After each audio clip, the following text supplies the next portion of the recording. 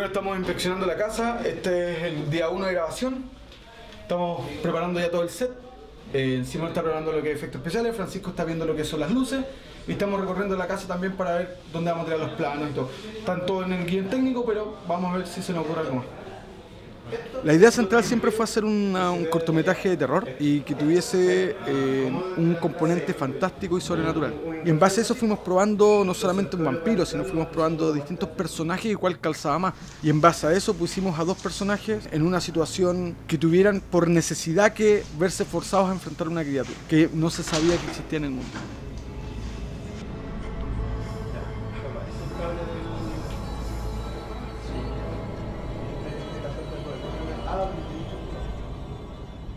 Entonces, en base a eso, el proceso, la línea argumental del cortometraje es muy simple. Que tenemos un personaje que está habituado a, a robar casa y que es como el personaje fuerte, que es el Daniel.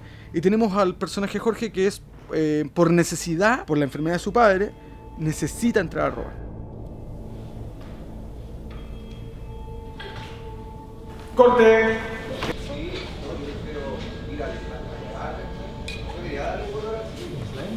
Ah, slime.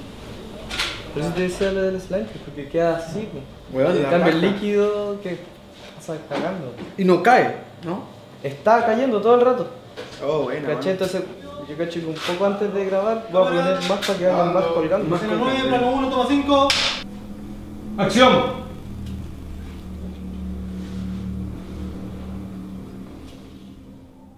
Una cosa es tener la imagen en tu cabeza y otra cosa es poder materializarlo y tener con los instrumentos que uno tenga. Entonces, en ese proceso de llevar la idea a la forma física es donde obviamente no, no queda de la misma forma. ¿Cachai? Porque están todos parados y veo que está haciendo la hueá solo. Entonces, No, sí, que- que- muchas manos. Es que esto es más que nada. Ya, recuerda que el plano es para allá, hacia adentro. Por donde tenía un foco que está en la, en la mitad de la escalera. ¡Acción!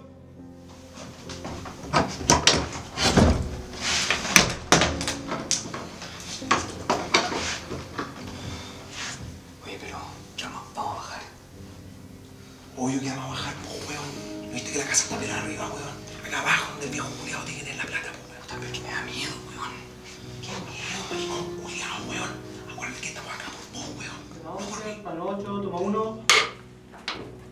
Sí, se acerca bastante a lo que nos imaginábamos como vampiro o lo que se propuso, porque es un monstruo y todo queda muy a la imaginación más que una persona normal que tenéis que vestirla de alguna forma, que va a depender de su actitud y todo. Esta monstruosidad que uno busca en, el personaje es lo, es lo que, claro, lo hace un poco más complicado. Del equipo de arte fueron eh, tres personas. El dentista, que es especialista, digamos, en los dientes. Ilia, que hizo maquillaje. Y Sebastián, que me ayudó en la elaboración del efecto especial eh, y vestuario.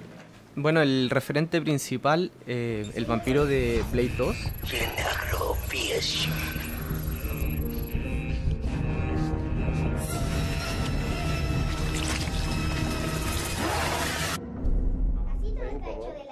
de esta forma tienen que ser los dientes, tienen que ser puntiagudos, ah, van a ir al centro, eh, pero todo fue muy como bien recibido y tratamos de acoplarlo.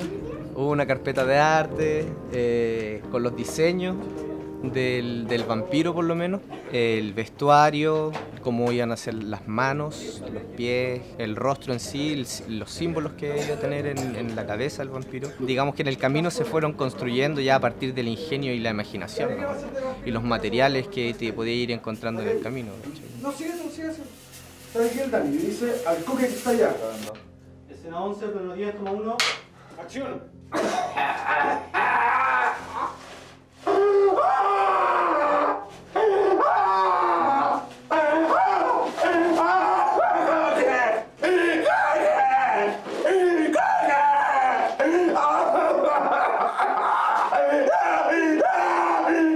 ¡Y corte!